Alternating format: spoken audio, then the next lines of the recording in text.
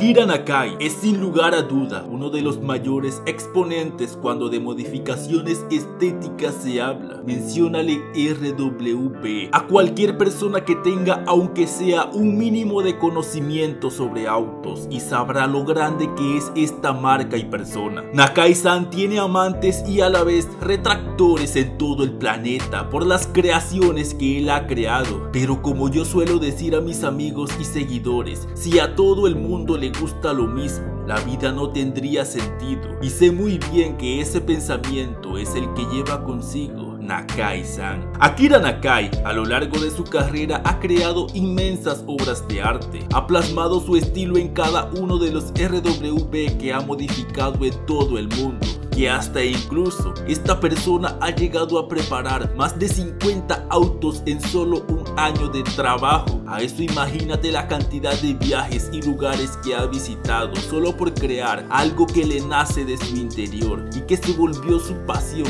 y no un trabajo como tal. Pero aparte de crear autos para clientes, por supuesto Nakai-san ha preparado autos personales para sí mismo. Autos que se puede decir que son esos en los que plasma por primera vez sus ideas locas y posteriormente agregar eso a sus otras creaciones para clientes. Muchos deben conocer el auto que lo destacó a nivel mundial, Stella Artois, auto personal donde pudo pulir su estilo, pero también ha creado autos como este, su primer auto RW 100% enfocado en pista y es a quien te traigo hoy en este video. Te presento a Rotana. Rotana nace de la idea de Nakai-san por tener su primer auto de carreras con este estilo RWB que lo caracteriza y a la vez su primer auto turbo, esto con la finalidad de poder usarlo en los eventos de Idler Games realizados en su Cuba. El auto base es un Porsche 993 turbo con toda la presencia única del body kit RWB que la mayoría de nosotros conocemos y amamos, pero lo especial de este auto es que presenta mods únicos en él, ya que el auto lo armó Nakai-san por allá en el 2013. Verás, como es común en Nakai-san, él suele bautizar a todos sus autos con un nombre único y peculiar, y en este caso quizás te preguntes, ¿y Rotana qué significa o a qué se debe?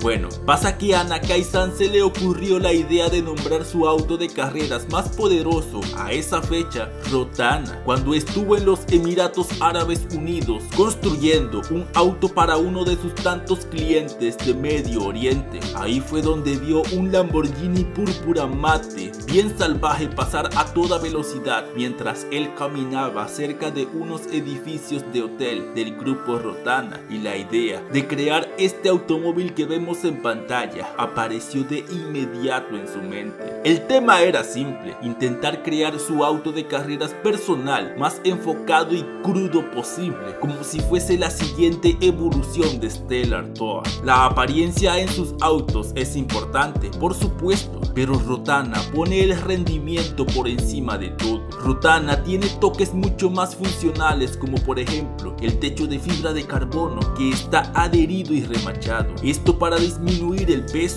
o la utilización de una suspensión especial de carreras que son los coilovers RWB Special Quantum implementando un poco de camber negativo para cuando esté en la pista. Para ese tiempo muchos retractores de Nakai-san decían que los autos RWB no tenían suficiente potencia para combinar con su apariencia, pero Rotana prácticamente le cerró la boca a todos ellos. Nakai-san llamó a un especialista en motores de Porsche para que le construyera un motor digno de esta construcción, una configuración que sería adecuada para pistas como su Cuba y Motegi, un motor con mucha potencia pero sin sacrificar el estilo de manejo a la que siempre ha estado acostumbrado en sus autos de aspiración natural. Por lo tanto, se instaló un motor 964 turbo de 3.6 litros con componentes internos mejorados para soportar el abuso y el uso en la pista junto con la transmisión manual original del 993 desarrollando unos 575 caballos de fuerza. Ese motor fue acoplado con un Turbo Greri de tamaño mediano a plena vista trasera, en conjunto con ese tubo de escape que le dan esa apariencia demasiado malvada y genial en mi opinión. Mirando a través del vidrio acrílico de la puerta, observaremos un interior totalmente despojado. Prácticamente todo, excepto el tablero y el túnel de la transmisión, ha sido desmantelado por completo con el objetivo de ponerle una jaula antihuelco, pero Nakai-san nunca se la puso y solo le dejó una butaca de tipo cubo de recaro, un volante Sparko y un bus controller Gredi, con la EQ debajo de la butaca, fácil de alcanzar para cuando se necesiten ajustes y mapeos necesarios. Con el exterior, pues ya te la sabes, un Porsche 993 con un body kit RWP de punto a punto, con mods nuevos en su época pues Nakai-san también implementó cosas nuevas para el body kit como lo son las aletas en los guardafangos traseros ventilados completamente funcionales o este alerón peculiar unido a la tapa trasera original del 993 con esta forma tan única pues al igual que el resto del auto está ahí para impactar e impresionar a la gente su único propósito es lograr una reacción tanto buena o mala, además de hacer enfadar a los puristas de Porsche. El auto posee rines Worldmeister especiales en colaboración con RWP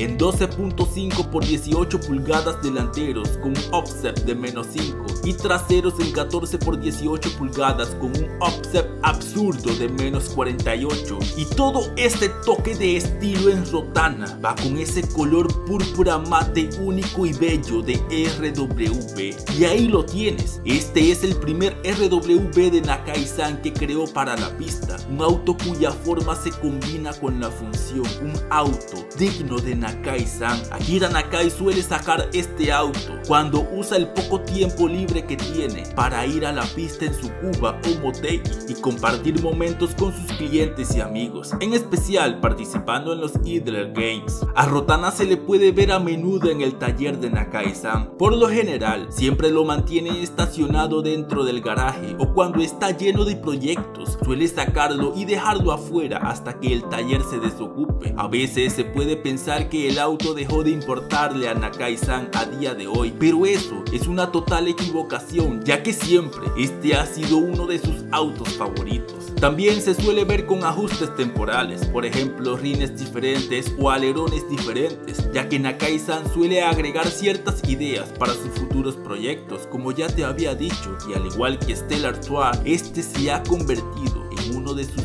autos icónicos. Pero tú ya conocías a Rodana, conocías el porqué de esta creación, lo habías visto antes en algún lado, imagino que sí, pero déjame todo lo que piensas sobre este auto en los comentarios. Y a la vez déjame por ahí si quieres saber sobre algún otro RWB creado por Nakai-san. Dale like y comparte este video con tus mejores amigos amantes de las modificaciones. Muchas gracias por ver el video, sígueme en mis redes sociales y nos vemos mi hermano en la próxima.